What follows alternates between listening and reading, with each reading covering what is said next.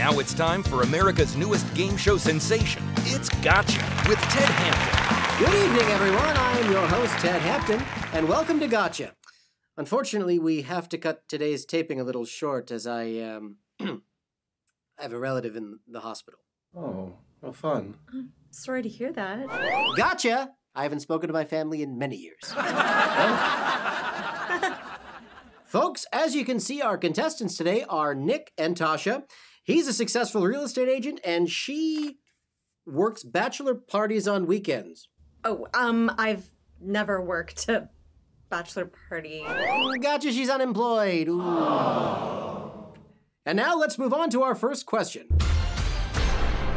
For $20, there's this big statue just off the island of Manhattan. It's this uh, lady uh, holding a, a torch. It's it's it's the the. Oh, I know this one. Wh- What what is the Statue of Liberty? That's correct. Yay! That's what I was gonna say. Don't spend it all in one place. Thank you, thank you. These hurt my face. Can I take them off? On, on. Gotcha. Okay, how is this a game show? And now, ladies and gentlemen, just a quick word from our sponsors.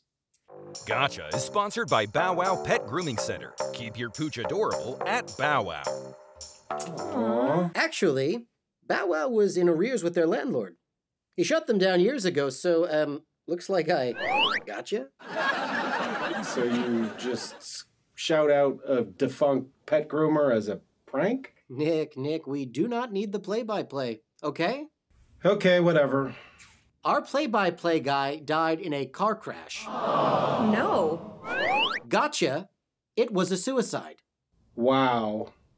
I was inconsolable. I didn't come in for weeks. Oh, that must have been very. Gotcha.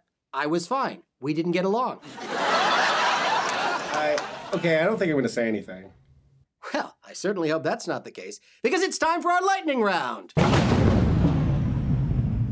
Okay, Tasha, this one's for you. For a $1,000, name 10 states in the US of A. You have 10 seconds. Oh, oh, uh, Nebraska, uh, North Dakota.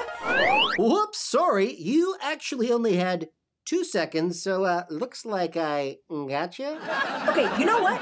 This is the most absurd, the most ludicrous. Oh, no! That sound means we are officially out of time.